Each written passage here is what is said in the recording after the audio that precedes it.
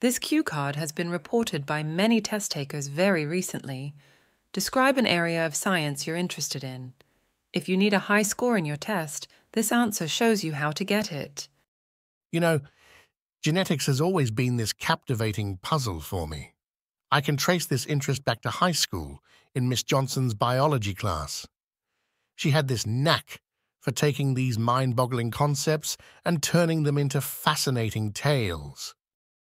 So there I was, sitting in class one day, and she starts unraveling the mystery of DNA, you know, that tiny code that's like the instruction manual for life.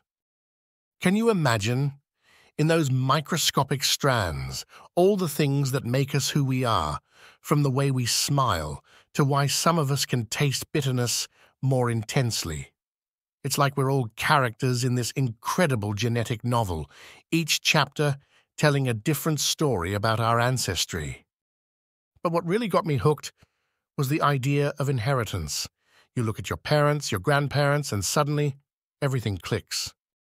I realized that my love for music and Dad's knack for fixing things, it's all written in our genes.